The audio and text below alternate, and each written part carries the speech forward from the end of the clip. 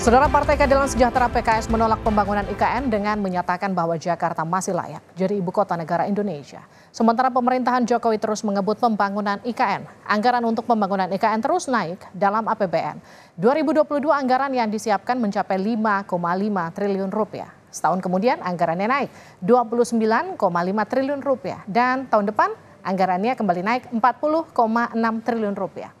Target investasi IKN pada 2023 mencapai 45 triliun rupiah, sementara realisasi investasi per November baru 35 triliun rupiah. Bagaimana tanggapan pemerintah atas sikap PKS yang menolak ibu kota negara dipindahkan dari Jakarta ke ibu kota negara Nusantara di Kalimantan? Kita akan bahas setelah informasi berikut. Partai Keadilan Sejahtera PKS menolak pemindahan ibu kota negara dari DKI Jakarta ke ibu kota Nusantara di Kalimantan Timur. Presiden PKS Ahmad Saiku menegaskan partainya masih tetap ingin status ibu kota berada di Jakarta. Kalau Allah takdirkan PKS menang, maka kita akan menginisiasi bahwa ibu kota negara tetap di Jakarta. Lalu bagaimana dengan yang sekarang sudah dibangun di Kalimantan? Tetap eh, di ibu kota Nusantara, nah, itu akan tetap kita jadikan pusat pertumbuhan ekonomi. Capres nomor urut satu yang diusung PKS, Anies Baswedan mengatakan Indonesia butuh pemerataan pertumbuhan. Namun pemerataan itu bukan dengan pembangunan hanya di satu kawasan. Yang dibutuhkan di Indonesia hari ini adalah pemerataan pertumbuhan, di mana pembangunan itu dilakukan bukan hanya di satu lokasi tapi di banyak lokasi. Cawapres nomor urut 2 Gibran Raka Buming Raka tidak mau berkomentar banyak mengenai penolakan itu. Ia hanya mengatakan seluruh masukan dari berbagai pihak akan ditampung dan diterima. masukan? Gak usah ditanggapi ya. Makasih. Ada masukan mungkin mas, uh, kan masukan seperti apa? Monggo semua masukan kami terima. Oke.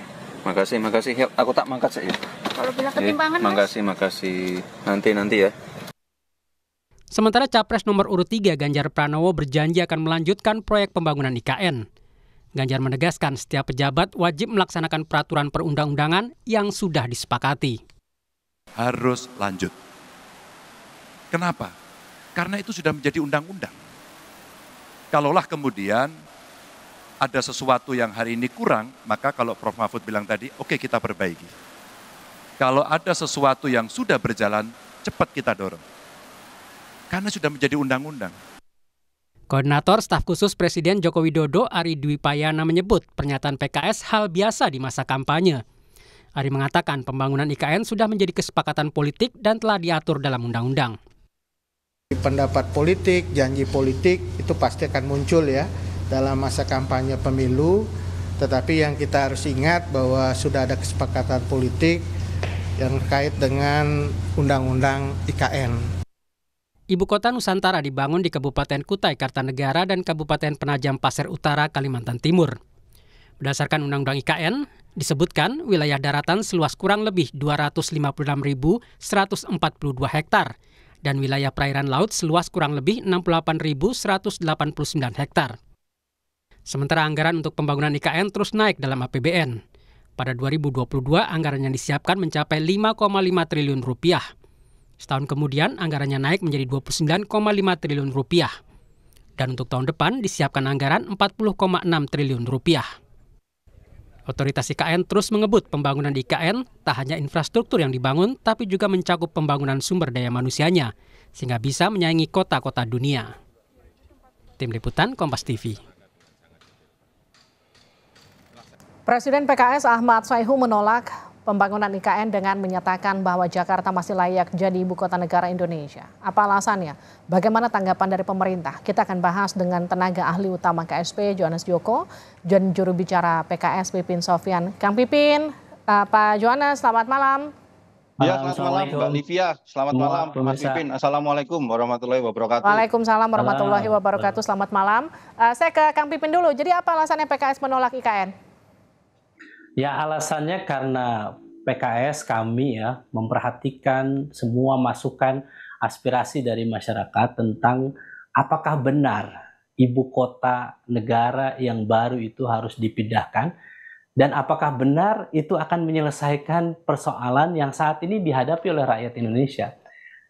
pertanyaan-pertanyaan kritis seperti itulah yang ditampung oleh pimpinan PKS yang kemudian akhirnya memutuskan bahwa sebetulnya kalau kita melihat bagaimana kondisi rakyat Indonesia saat ini pasca pandemi Covid, banyaknya PK, PHK, banyaknya orang yang tidak punya pekerjaan, pengangguran semakin meningkat, gizi buruk juga semakin meningkat, sistem kesehatan juga kita tidak baik, sembako juga banyak yang malah naik, hmm.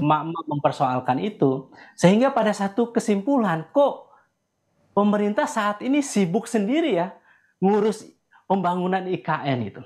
Yang jadi pertanyaan adalah sebetulnya IKN itu yang diuntungkan dengan pindahnya IKN itu siapa gitu. Oke. Okay. Apakah benar misalnya ketika pindah ke ibu kota sana, sebetulnya gedung itu buat siapa sebetulnya? Hmm. Gedung mewah IKN itu buat siapa? Buat rakyat atau untuk pejabat negara? Kan di sana itu dibangun nanti istana negara, hmm. presiden, hmm. Para menteri, anggota dewan, tidak hanya gedungnya di situ, tapi kemudian rumah-rumahnya disediakan di sana, PNS juga demikian. Okay. Sehingga anggaran 460 triliun itu apakah benar untuk per, pemerataan pertumbuhan ekonomi masyarakat atau memang itu hanya kepentingan segelintir elit saja untuk memindahkan ibu kota Kang Pipin, izin saya potong. Pembangunan IKN dianggap eh, atau penolakan pembangunan IKN oleh PKS dianggap sebagai produk politik PKS di tengah uh, tahun politik. Respon Anda? Jadi saya kira ini adalah bagian dari kampanye gagasan ya. Ketika kita terhenyak bahwa kita terbiasa bahwa saat ini melihat uh, pemerintahan kita membangun IKN, tetapi di sisi lain masyarakat uh, prihatin dengan kondisi ekonominya gitu. Pada titik itulah partai politik harus menyuarakan kegelisahan rakyat. Ya. Itu. Jadi ini antara pemimpin hmm. dan rakyat ini antara pemimpinnya jalan ke sana, rakyat nggak tahu ke mana. Pada titik itulah kami memandang bahwa kampanye gagasan yang kami sampaikan ini adalah upaya untuk mengkritisi kebijakan Baik. pemerintah. Saya lempar ke Pak Johannes, izin saya potong. Rakyat. Baik, saya izin potong. Uh, Pak Johannes, tanggapan pemerintah atas reaksi penolakan PKS seperti apa? Ya, namanya janji politik, gagasan politik itu kan sesuatu yang wajar begitu Mbak di era apa pada saat kampanye ini. Tetapi begini yang ingin kami garis bawahi. Proses pemindahan ibu kota dan ide pemindahan ibu kota itu sebenarnya sudah jauh digagas oleh para founding father kita. Zaman Presiden Soekarno itu sudah ada ide pemindahan ke Palangkaraya. Kemudian zaman Pak Harto ada ada ide pemindahan ibu kota ke Jonggol. Apa sih sebenarnya dasar dari pemindahan ini semua begitu? Hmm. Karena kita lihat Mbak, alasan dari kondisi ekologis Jakarta sendiri. Jakarta itu jumlah penduduknya hari ini 10,6 juta orang. Sementara luasnya hanya 661 km persegi. Apa artinya? Kepadatan penduduk Jakarta itu 5, hampir 16 ribu orang per kilometer persegi. Konsekuensinya apa? Ada kebutuhan per meter persegi satu juta liter air disedot dari bawah tanah.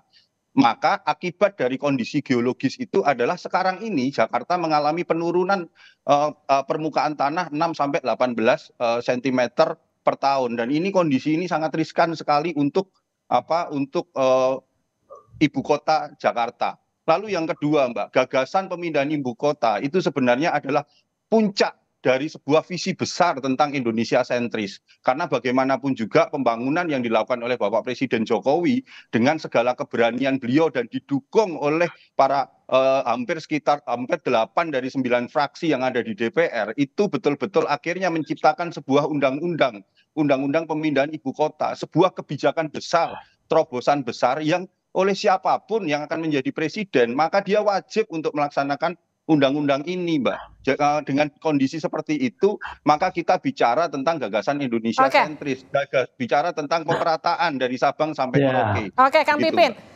Gimana responnya? Yeah. Wajib melaksanakan undang-undang karena sudah jadi uh, bentuknya undang-undang. Siapa pun partai politik. Bagaimana presiden, para menterinya juga wajib untuk memenuhi amanat konstitusi dan undang-undang untuk menyediakan lapangan pekerjaan untuk rakyatnya sebagaimana presiden dan menterinya juga berkewajiban untuk menyediakan sembako murah untuk rakyatnya.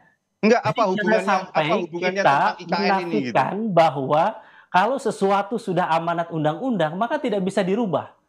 maka tidak bisa direvisi begitu. Enggak apa-apa Poin nanti, yang nanti kami kalau, kalau sampaikan PKS, adalah kalaupun ketika teman-teman PKS kita dengan seluruh satu-satu boleh. Oke, satu-satu. Saya mendengarkan silakan. Anda, Pak Johannes, saya boleh. sabar. Oke, Kang Pipin, lanjut Boleh? silakan. Jadi saya selesaikan dulu. Jadi ketika Silakan, silakan. kita melihat ya bahwa persoalan utamanya itu apa? Apakah benar dengan memindahkan ibu kota itu pemerataan akan terjadi? Oke. Jangan-jangan ini kesalahan kita dalam mengelola apa program apa eh, politik anggaran kita yang selama ini kalau misalnya masih memperhatikan Jakarta sentris dan sebagainya sebetulnya yang menjadi penggugah kenapa PKS membawa agenda apa isu ini adalah tadi keprihatinan bahwa seakan-akan proyek mercusuar seakan-akan persoalan lapangan pekerjaan yang ada di masyarakat kenaikan harga harga itu Oke. selesai dengan pindahnya IKN itu Baik. sebetulnya Pak Johannes, tanggapi. Ya tentu tentu persoalan-persoalan yang disampaikan itu adalah persoalan-persoalan yang tidak bisa eh, diselesaikan hanya sekedar memindahkan ibu kota negara. Tetapi Mhm. pemindahan ibu kota negara itu harus dipahami bahwa saya ingin memberikan ilustrasi begini, Mbak. Apa eh, produk domestik regional bruto Jawa itu hampir 47 persen untuk eh, domestik secara nasional. Artinya apa? Sisanya sekitar 42 persen eh, eh, produk domestik bruto itu dibagi untuk Sumatera, Kalimantan, Sulawesi, Papua, dan Nusra. Di sinilah Mbak, dengan kondisi ini kita perlu satu Oke. pemerataan. Pemerataan itu apa? Saya ingin memberikan satu data Mbak. Dengan pemindahan ibu kota negara, jangan itu hanya dilihat sebagai pemindahan kantor presiden, kantor menteri, tetapi ada kurang lebih sekitar 200 aparatur sipil negara yang sekarang tinggal di Jakarta. Dia akan nantinya akan membuka lapangan akan terbuka lapangan itu di ibu kota negara yang baru. Berapa jumlah total untuk gaji pegawai aparatur sipil negara itu? Hampir per tahun 120 triliun. Artinya apa? Ada pusaran-pusaran ekonomi baru karena kalau kita bicara pemindahan ibu kota, kita tidak hanya sekedar memindahkan administrasinya, tetapi membangun daerah-daerah penyangganya, membangun suplai penyangga energi, membangun suplai penyangga apa eh, pangan. Dan inilah yang sekarang sudah dirasakan oleh saudara-saudara kita yang ada di Sulawesi misalnya. Karena mereka harus mempersiapkan kawasan lumbung pangan untuk menyuplai kawasan ibu kota negara yang ada di Kalimantan. Ini pula yang dirasakan oleh oleh saudara-saudara kita yang ada di Kalimantan. Sekarang Oke. ekonominya terus bergerak karena adanya proses pembangunan Hmm. ini. Itulah itulah gagasan untuk melakukan pemerataan pembangunan di seluruh Indonesia karena gagasannya kita sudah tidak bisa Oke. lagi Jawa sentris, tetapi harus menggagas Indonesia sentris. Ya, Dan inilah saya kira- keberanian Presiden Jokowi untuk mengambil terobosan itu. Baik. Baik, jadi saya kira ya yang kita lihat adalah bahwa ketika memang itu sudah dibangun gitu ya, kita ingin membangun bagaimana 14 kota besar baru untuk pertumbuhan ekonomi, green economy. Jadi saya kira insya Allah tidak akan mubazir apa yang sudah dibangun saat ini ketika nanti ada perubahan kebijakan pemerintahan ke depan. Tetapi sekali lagi ini adalah baru eh, usulan atau Oke. kampanye gagasan dari PKS dan kami memandang bahwa bukan itu solusi untuk bagaimana pemerataan itu. Jadi saya membayangkan di negara-negara lain juga sama sebetulnya. Konsekuensi dari pindah ibu kota itu apa di negara-negara lain tuh? Banyak yang menjadi kota hantu. Yang kedua menjadi mahal, ya. Kemudian hanya untuk kelompok elit saja yang tinggal di sana. Jadi masyarakat-masyarakat yang biasa itu tidak bisa menikmati itu. Dan Baik. kita tidak mau menonton satu mercusuar, satu kebijakan di saat tadi, di saat rakyat gizi buruk juga masih tinggi, di saat Oke. kondisi pendidikan kita juga tidak baik begitu, di saat pasca Covid juga banyak dampaknya Baik. ekonomi kita. Pada titik itulah kami ingin menggugah bahwa kebijakan itu tidak tepat dan kami berikan solusinya. Lebih baik kita bangun 14 Oke. kota baru yang awalnya kecil menjadi menengah, menengah jadi besar Baik. sehingga pemerataan pembangunan itu bisa terjadi. Terima kasih Kang Pipin, terima kasih juga Pak Yuwana sudah bergabung bersama kami di Sapa Indonesia Baik. Malam. Sehat-sehat selalu. Terima kasih Mbak Livia. Terima kasih. Mas Vipin. Oke, Assalamualaikum. izin. Waalaikumsalam.